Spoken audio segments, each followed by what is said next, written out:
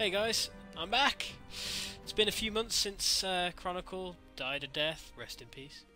Um, and I thought it's about time I picked up another card game, see if I can get to the similar levels that I managed to get to in Chronicle. So, let's go with Gwent.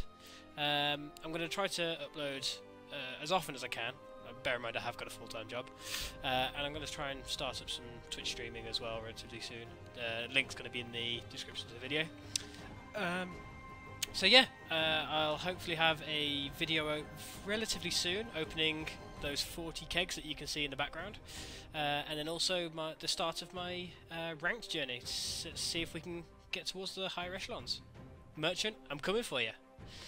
See you soon, guys.